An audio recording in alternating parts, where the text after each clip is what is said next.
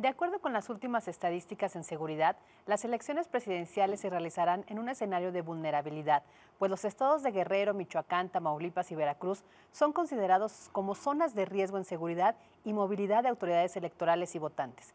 Preocupa también que la inseguridad pública repuntó en seis de las nueve entidades donde se elegirán nuevos gobernadores. Guanajuato, Jalisco, Ciudad de México, Morelos, Puebla y Veracruz.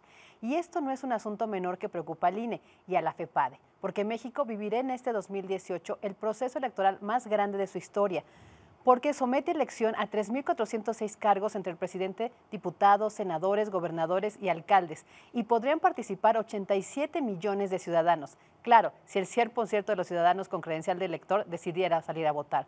Aún así, la autoridad electoral confía en que no habrá nada que impida la instalación de casillas y que los funcionarios electorales hagan su trabajo. Confiemos, pues.